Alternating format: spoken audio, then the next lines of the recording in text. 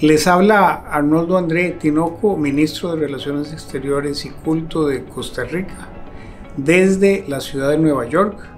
donde se encuentra la Organización de las Naciones Unidas, que es la organización más grande del mundo, reuniendo a 193 países, con ocasión de la celebración de la Asamblea Anual que siempre se celebra en el mes de septiembre. El día de hoy iniciamos nuestra misión en compañía de doña Signe Seicate,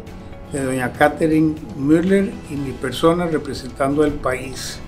Iniciamos con una reunión ministerial de la CELAC o la Comunidad de los Estados Latinoamericanos y Caribeños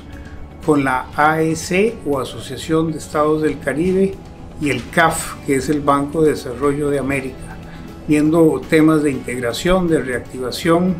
de conectividad y de riesgo para los desastres. Continuamos con una reunión con el ministro de Relaciones Exteriores de los Países Bajos, en donde revisamos las relaciones bilaterales y de comercio entre ambas naciones y temas de aduana y de control del narcotráfico, para seguir con la gran cumbre de las Naciones Unidas para la transformación de la educación donde se revisaron los temas de inversión en la educación de los países,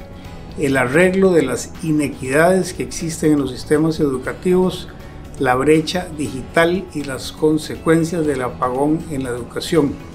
Para continuar con una sesión ante el Foro Económico Mundial, revisando la situación geográfica y geopolítica de las distintas regiones del mundo, siguiendo con una reunión en la Embajada Perú para un canje de notas de un acuerdo de asistencia judicial y reforzando la solicitud de Costa Rica de ingresar a la Alianza del Pacífico. Y terminamos esta noche con una reunión bilateral con Kosovo en donde se revisó la situación de los países de los Balcanes.